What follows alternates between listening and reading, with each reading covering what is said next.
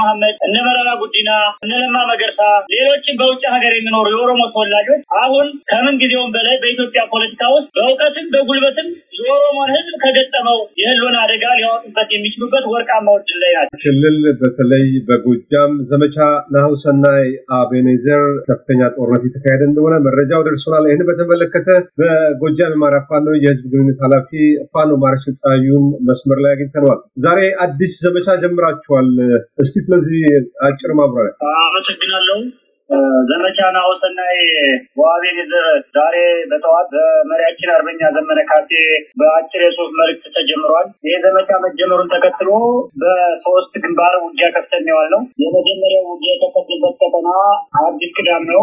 በአዲስ ቅዳም ቀኛዝማች ስሜነ ደስታ ብርጌድ እና አስር አለቃ ኤፍሬም አጥናፉ ብርጌዶች ከፍተኛ ማጥቃት አድርገው በርከት ያለ ሚኒሻ አድማ ብተናና ፖሊስ እንዲሁም የአብይን ወራሪ ኃይል በመደምሰስ አስራ ሰባት ጥቁር ክላሽንኮቭ ሁለት ብሬን ከነ ሙሉ ተተኳሹ ማርከዋል። አዲስ ቅዳምን ነጻ ወጥተውታል። እንደሚታወቀው ቀኛዝማች ስሜነ ደስታ ብርጌድ፣ ኤፍሬም አጥናፉ ብርጌድ፣ ዲሊ ዘንገና ብርጌድ እጅግ በጣም እንደ ብረት የደነደኑ ጠንካራ ጦረኛ የሚባሉ የተመሰከረላቸው የፋኖ አመራሮች ያሉበት ነው። እነ መቶ አለቃ ማርቆስ፣ እነ ሻለቃ አሌ፣ እነ ሻለቃ መዝገቡ እጅግ በጣም ተዋጊዎች ነብሮች ብለን የምንጠራቸው አርበኞች ያሉበት ቀጠና ነው። ለዚህም በዘመቻ ናሁሰናይ ወአቤኔዘር ዘመቻ የተሳካ ኦፕሬሽን ሰርተው ቀጠናቸውን ነጻ ወጥተው በጠላት ላይ ድልን ተቀዳጅተው መሳሪያ አግኝተዋል። የሰው ኃይል ኪሳራ አምጥተዋል። የፖለቲካ ኪሳራ አምጥተዋል። የቁሳቁስ ኪሳራ በጠላት ላይ አምጥተዋል። ይሄ ነው ዛሬ።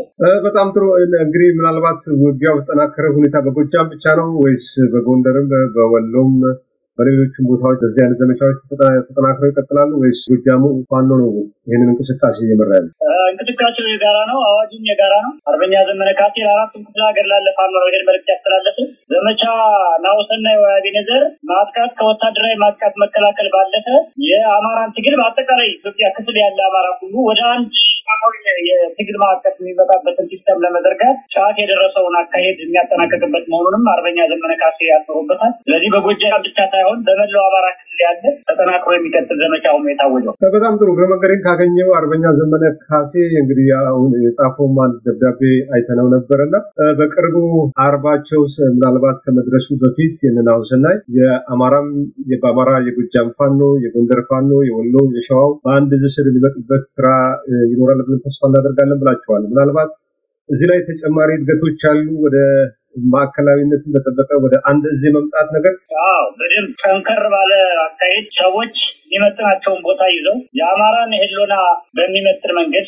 የኢትዮጵያን የፖለቲካ ቁመና በሚመጥን መንገድ ማን የት ቦታ ላይ ቢቀመጥ የተሻለ ሊሰራ ይችላል የሚለውን በሰንድ ሰከን ብለን ጊዜ ወስደን በጥናት ላይ ተመስርተን አደረጃጀትና ምስረታውን እናካሄዳለን። የእኛ እዚህ አንድ መሆን የአማራን ህዝብ ብቻ ሳይሆን የኢትዮጵያን ፖለቲካ ጭምር የሚወስን ስለሆነ የድረስ የድረስ ባለማቋቋም ስንል ነው እስካሁን የቆየ ነው እንጂ ውስጣችን እያጠራን ጠንከር ባለ አደረጃጀት ለመምጣት ነው እየተዘጋጀን ያለ ነው። ስለዚህ በመጪዎቹ ሰላሳ ምናምን ቀናት ውስጥ ሁሉ ነገር አጠናቀን ይፋ እናደርጋለን ማለት ነው። ይህንን ፕሮጀክታችን በጣም ጥሩ። ዛሬ እንግዲህ ከመንግስት በኩል የተሰጠ መግለጫ አለ። በጎጃም ኮማንድ ፖስት ስር የሚገኘው ክፍለ ጦር አዛዥ ኮሎኔል አበበ አደመ ፈረስ ቤትን ለመቆጣጠር የመጣውን የፋኖ ኃይል ሙሉ በሙሉ ደምስሰናል ብለዋል። ምናልባት አመራሮች አመራሮችም ተገለዋል። ወደ ስልሳ አራት ሰው ገለናል፣ አርባ አራት አቁስለናል ብለዋል። ይሄ በእናንተ በኩል ማረጋገጥ ይቻላል? ኮሎኔሉ ያሉትን በመከላከያ በኩል ትናንትና ነበር እኮ በነ ናትናኤል መኮንን በኩል ሲገለጽ የነበረው ተገደለው የተባሉት አመራሮች አለን ብለው በሚዲያ ምስክርነት ሰጡ። ሰዎቹ ቀልድ ላይ ናቸው። በጣም critical የሆነውና ውስብስቡ ችግር ድሮን ታጥቀው በድሮን ንጹሐን እየጨፈጨፉ መቀለዳቸው ነው እንጂ እነ አብይ አህመድ ቀልድ ላይ ናቸው። ባለፉት አምስት ስድስት ዓመታት ምናልባት ኢትዮጵያ ከመሯት ነገስታትና መሪዎች ከአስተዳደራት ስርዓት ሁሉ ወራዳው ቀልደኛው በሀገር አሳፋሪ ተግባር የፈጸመው ድሃ መግደልን፣ ንጹሐን መጨፍጨፍን እንደ ጀብድ የሚቆጥረው ብቸኛው ስርዓት ይህ ስርዓት ነው። ይህን ስርዓት የሚመሩ ሰዎችም ብሔራዊ ቀልድ ላይ ነው ያሉት። አይተህ ከሆነ እነ አስታጥቄ በየጊዜው ሚዲያ ላይ እየወጡ ሲደነባበሩ ኮሜዲ ተከታታይ የሆነ የኮሜዲ ስራ ሲሰሩ ትመለከታለህ። ሁሉም ኢትዮጵያ ይታዘባል። አሁን አንድ ቁም ነገር ልንገርህ። ይህን ጦርነት ስንጀምረው እነ አብይ አህመድ አንድ መቶ ሀምሳ ዘጠኝ ሺህ ጦር ነበር ወደ አማራ ክልል ያስገቡ። አሁን ሀያ አንድ ሺህ እግረኛ ጦር ብቻ ነው ያለን። ምናልባት እንደዚህ ብዬ ስናገር አብዛኛው በመርህ የማያምነው ወይም የመቀበል ፍላጎት የሌለው ሰው ላያምን ይችላል። ይሄ ግን ሀቅ ነው። ሀያ አንድ ሺህ ጦር ብቻ ነው ያስቀረናል። ይሄ ጦርነት እየረዘመ በሄደ ቁጥር፣ ይሄ ጦርነት እየገፋ በሄደ ቁጥር እና አብይ አህመድ ምንም አይነት ወታደር አይኖራቸው። በተቃራኒው እኛ ኮሎኔሎች እየተቀላቀሉ ነው። ሻለቃዎች መቶ አለቃዎች፣ አምሳ አለቃዎች እየተቀላቀሉ ነው። በርከት ያሉ አርበኞች በመሪነት እየመጡ ነው። የጦር ጠበብቶች የፋኖን ትግል እየመሩ ነው። በሌላ አገላለጽ ከአማራ ህዝብ የህልውና ትግል አልፎ ለኢትዮጵያ ቁመና የሚመጥን ወታደራዊ አቅምም እየፈጠርን ነው። በሌላ መንግስት መንግስት ሳንሆን በጀት ሳይኖረን ህዝብ ሳንመዘብር ግብር ሳናስገብር ኢትዮጵያን ይመጥናል የምንለውን ወታደራዊ ቁመና እየገነባን ነው። የእነ አብይን እያፈረስን ነው እኛን እየገነባን ያለ ነው። ሌላው በዚህ ወቅት የሚለው አድማ ብተና የሚባለውን ቅጥረኛ ተዋጊ ከሰሞኑ ወደ መከላከያ ትቀላቀላለህ፣ አድማ ብተና መፍረስ አለበት እያሉ ማስገደጃ ከእነ አብይ አህመድ በተጻፈ ደብዳቤ በየክፍለ ጦሩ ለሚገኙ የእነሱ ተላላኪ መልእክት አድርሰው አድማ ብተናው ስላሽ አልሰጥም ብሎ ተፋጦ ነው ያለ። ይሄ ወርቃማ ጊዜ ነው ለአማራ ልጆች። የእነ አብይ አህመድ ስርዓት ማለት ህዝብ ለመጨፍጨፍ ሲያስብ፣ አማራ ለማወረር ሲያስብ የአማራ ልዩ ኃይል ያፈረሰ ጋጦጥ ስርዓት ነው። ዛሬ ተጨማሪ ትርፍ አገኝበታለሁ ብሎ ስላስበ አድማ ብተና የሚባለውን ተቋም አፍርሶ አማራን የከዱ የአማራ ልጆችን አየር ላይ ለማስቀረት ወይም ለማስበላት ያለመ ፕሮጀክት ነው እና አድማ ብተና የሆኑ የአማራ ልጆች ይችን ቀጭን መንገድ ይችን መልካም አጋጣሚ ተጠቅመው ወደ ህዝባቸው ወደ ወገናቸው ሲቀላቀሉ የመጨረሻ ጥሪ አርበኛ ዘመነ ካሴም አቅርቧል። ሊሆን የማስረጃለሁ ሌላው የቀራቸው ሀያ አንድ ሺህ ሰራዊት በየቀኑ በየአውደ ውጊያው እየተደመሰሰ እየከዳ ስላስቸገራቸው በርከት ያለ የሳቦታጅ በሮችን ከፍተው እየተንቀሳቀሱ ነበረ። ሁሉንም በሮችን ዘግተንባቸዋል። ያው ስለምንተዋወቅ ነው በሚስጥርኛ እና እነሱ የቀራቸው መበተን ነው።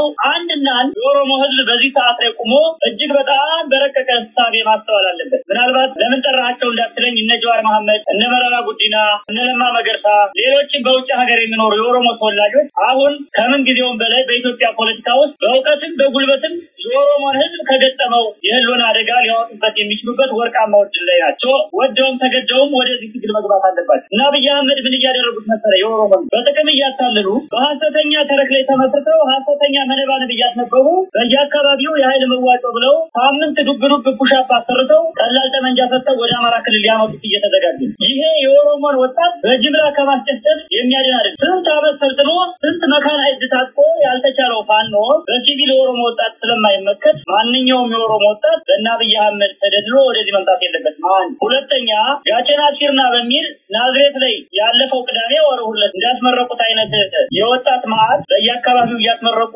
ብልጽግናን እናስጠብቃለን፣ የብልጽግና ስርዓት እናስቀጥላለን የሚሉት ከሆነ በወለጋ የሚሞተው ኦሮሞ፣ በጉጂ በቦረና በረሃብ የሚያልቀው ኦሮሞ፣ በሃይማኖት በእርስ በርስ ጦርነት የሚያልቀው ኦሮሞ ደም ሳይወቅታቸው ለብልጽግና ቆመው በጥቅም ተደለው የሚቀጥሉ ከሆነ ትናንትና ህዋትን ተመክተው ለተጨፈጨፉት የትግራይ ወጣትን ከግምት ውስጥ ያላስገባ አካሄድ ነው እና የኦሮሞ ፖለቲካ አደገኛ ጠብቃ ውስጥ እየገባ ስለሆነ መጪውን ዘመን ዲዛይን የሚያደርጉ ከዚህ ከወፈፌ የአብይ አህመድ የመሀይም ጥርቅም ወጣ ያለ እውነተኛ የኦሮሞ ልጅ ያስፈልጋል። ለዛም ነው እነ ጀዋር እጃቸውን አስገብተው የኦሮሞ ወጣት ላይ ስራ መስራት አለባቸው። ብልጽግና ለኦሮሞም ገዳይ ነው፣ ለአማራም ገዳይ ነው፣ ለትግራይም ገዳይ ነው፣ ለማንም ገዳይ ነው። ፓርክ ብቻ እየሰራ አብይና አጋሮች የሚዝናኑበት ፓርቲ ነው ብልጽግና። ይሄ ፓርቲ ኢትዮጵያ ውስጥ መቀጠል የለበት። ይሄ ፓርቲ እንዳይቀጥል ትግራዩ ተዋግቷል፣ አማራው ተዋግቷል፣ ሌላውም እየተዋጋ ነው። ሶ የኦሮሞ ወጣት ብልጽግና እንዲቀጥል ጥረት አደርጋለሁ የሚል ከሆነ በክፍለ ዘመኑ ታሪካዊ ስህተት ይሰራል። ስለዚህ አዲስ ኦሮሞን የሚመጥን ኦሮሞነትን የሚያራምድ አዲስ ልክ አማራ ፋኖ ብሎ እንደመጣው ኦሮሞም አዲስ የፖለቲካ በአዲስ ትውልድ የተቃኘ የፖለቲካ ሪዮት የሚያስፈልገው እና ቆም ብለው እንዲያስቡበት ለሁሉም የኦሮሞ ሊቃን አድርሱ። በጣም እናመሰግናለን። ወደፊት እንግዲህ ምናልባት በፋኖ በኩል አንዳንድ የትግል ስልቶች ካሉ በዛ ላይ ሰፋ ያለ ቆይታ እናደርጋለን። በሰጠኝ መረጃ ፋኖ ማርሸት ፀሐዩ በጎጃም አማራ ፋኖ ህዝብ ግንኙነት ኃላፊ አመሰግናለሁ። እኔም አመሰግናለሁ። ክቡራን ተመልካቾቻችን ዛሬ ዘመቻ ናሁሰናይ አቤኔዘር በተባለው እንቅስቃሴ ፋኖ ጥቃት አድርሻለሁ ብሏል። ይህን በተመለከተ በመንግስት በኩልም መከላከያን በመወከል ኮሎኔል አበበ አደመ ወደ ፈረስ ቤት ሊመጣ ያለውን የፋኖ ታጣቂ ደምስሰናል ብለዋል። ለዛ ማሸት ምላሽ ሰጥቷል። ይህንን በተመለከተ ወደ መከላከያ ህዝብ ግንኙነት ዳይሬክተሬት ተደጋጋሚ ሙከራ አድርገን ነበረ። ምላሽ አላገኘንም። ምላሽ እንዳገኘን የምናቀርብ ይሆናል።